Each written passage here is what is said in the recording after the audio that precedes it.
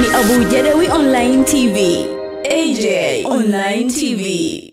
fanya vizuri sana. Excellent.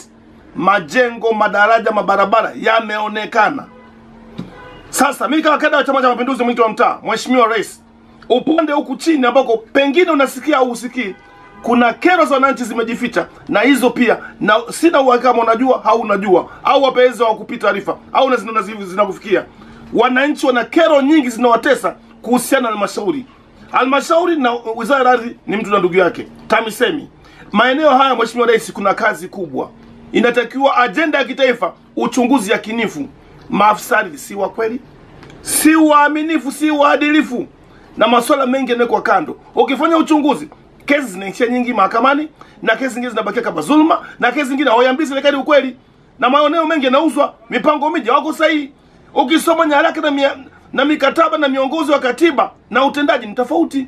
Kwa hizi wakati mwingine ukivishuhudia kero za ukijumlisha nchi nzima na kwa kero ya wananchi wananchi wanakaa nungunika wanasikitika. Mheshimiwa rais vyombo vya upelelezi vinafanya kazi gani? Viingiza vione kwa macho physically. Kamari za ulinzi zinashtakiwa zinaweza kuwa zinapewa taarifa lakini zingine hazina taarifa. Zingine zinatoka kwenye madraw kuna makaratasi mengine kwenye mashauri, wanatumia mtu halmashauri ya jiji nembo ya mkurugenzi. Kwa mfano mkurugenzi hapa anashtakiwa lakini unasema maandishi anatumia majina ya mkurugenzi. Mtumishi wa idara anatumia jina la mkurugenzi. Kwa hujuma inaendelea. Kwa vitu kama hivi mkurugenzi waziri wa tamisemi nenda mkayaone haya. Chunguzeni mafaili mtayaona yako mengi. A lot of fish game. Alafu kitu kingine mheshimiwa rais. Ili wizara imekuwa kama kurwa na doto. Watu wako kwenye idara miaka ishirini. Wanajua wimbo wa taifa. Hapa tutafanya hivi hapa tutafanya hivi hapa tutafanya hivi. Tutapambana mtu hivi tutapambana hivi. Mheshimiwa rais ajue ko tunataka tushindane kwenye bilioni ishirini. What is this? Ziko wapi hizo zingine? Kwa hiyo tumesema tuna watu ambao hawatoshi. Na nimemwelekeza rasi kwamba tumewahoji leo lakini hawawezi kutusaidia kama tukiendelea nao ndani ya jiji la Mwanza. E, tuna tuna bwana fedha na uhasibu, tuna mwanasheria uh, ambaye ameshindwa kabisa kushauri katika jambo hili.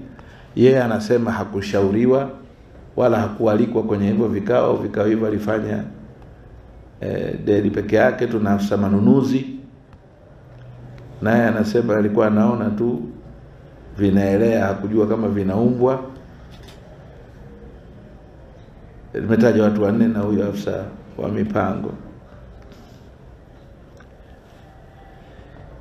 Idara nzima ya ardhi inabidi iangaliwe upya, na hawa watajwa wanne hawa wahusika kuanzia leo wana, wanasimama kazi mpaka uchunguzi ukamilike. Kama hawana hoja watarudishwa, lakini kama wameshiriki kwa namna yoyote kuwezesha uuzaji wa wa hili haya maeneo, basi tutasubiri tuone.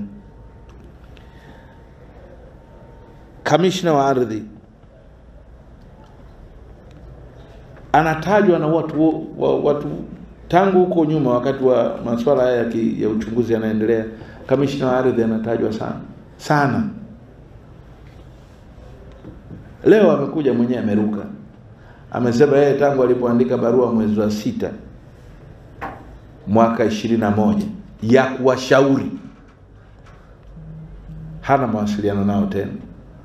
Tutamwandikia waziri wa ardhi tumshauri kwamba kamishna wa ardhi labda angepatiwa majukumu mengine, lakini kwa Mwanza serikali ya mkoa imeshapoteza imani naye